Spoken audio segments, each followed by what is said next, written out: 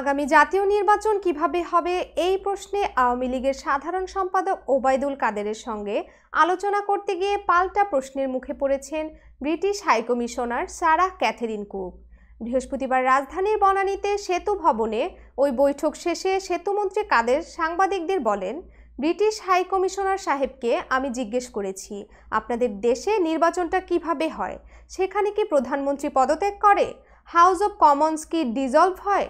Caretaker নামে কোনো সরকার কি নির্বাচনের সময় আবির্ভূত হয়? আগামী জাতীয় নির্বাচন সামনে রেখে পশ্চিমা বিভিন্ন রাষ্ট্র ও সংস্থার নানামুখী তৎপরতার মধ্যে এই বৈঠক হয়। যুক্তরাজ্যের দূতের সঙ্গে বৈঠক শেষে আওয়ামী লীগের সাধারণ সম্পাদক, এর আগে ইউরোপীয় ইউনিয়নের রাষ্ট্রদূত, ইউরোপীয় ইউনিয়নের প্রতিনিধি দল এবং যুক্তরাষ্ট্রের রাষ্ট্রদূত পিটার ডি হাসের সঙ্গে বৈঠকের কথা তুলে ধরে বলেন সবার আলোচনার বিষয়বস্তু একই।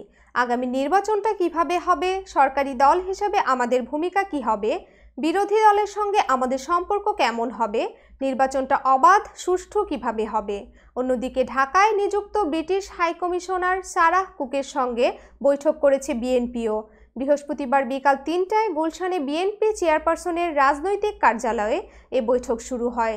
British high commissioner Sarah Cook ছাড়াও পলিটিক্যাল কাউন্সিলর টিমোথি ডকেটো ছিলেন এই বৈঠকে।